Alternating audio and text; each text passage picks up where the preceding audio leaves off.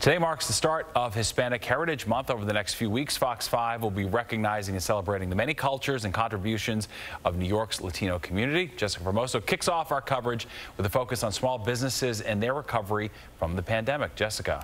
Well, Steve, that's right. In 2017, New York City had 12,215 Hispanic small businesses. That number is believed to have increased since. As we kick off Hispanic Heritage Month, I spoke to business owners who are thriving even during a global pandemic.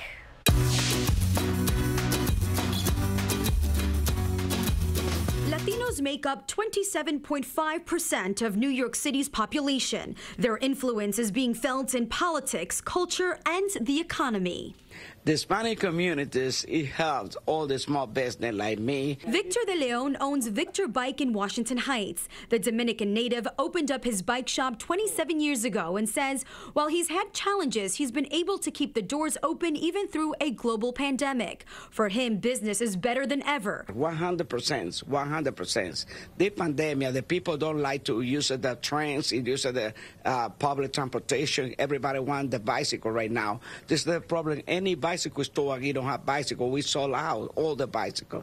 According to the New York City Hispanic Chamber of Commerce, Latinos are starting businesses at a faster rate than the national average, growing 34% over the last 10 years let alone in between 18 and 2019, their net revenue grew about 18%. That said, COVID, though, has impacted many of them. And most of these businesses were the ones that suffered the most because of social distancing, and they were not ready to face this. And, you know, it was an economic downturn that hit not only the owners, but the, it cascaded into unemployment for their employees who happened to be Hispanic as well.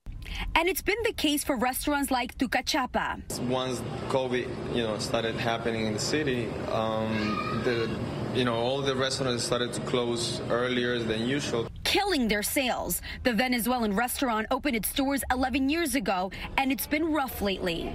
I will say that 30 or 40 percent of sales decrease you know, in the past uh, two years. Larry Guillen is the manager. The owner was a little scared at some point because we couldn't manage to pay the whole employment uh, payroll for the uh, employees that we have. The Chamber of Commerce says they've partnered up with several financial institutions throughout the city and have helped business owners secure loans. Although there were some assistances that came out from government, uh, many of them lacked the knowledge and the know-how of how to keep their financial records up to date. Even though Latinos continue to struggle to secure capital, they are hardworking people who take care of each other. This is our community. We work together and we enjoy together.